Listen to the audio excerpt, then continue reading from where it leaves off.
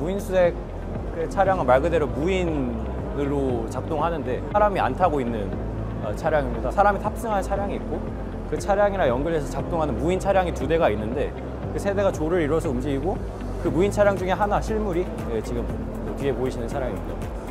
개발 진행 중인 상품이고 곧 있으면 양산될 계획입니다.